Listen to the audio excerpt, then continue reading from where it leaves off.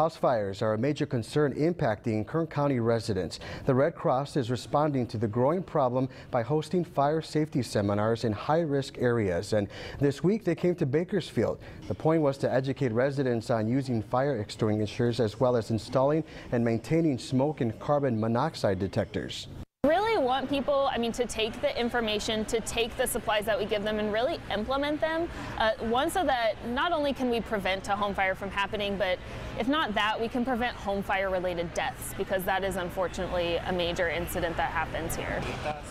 In the U.S., house fires are the most common way people experience a disaster.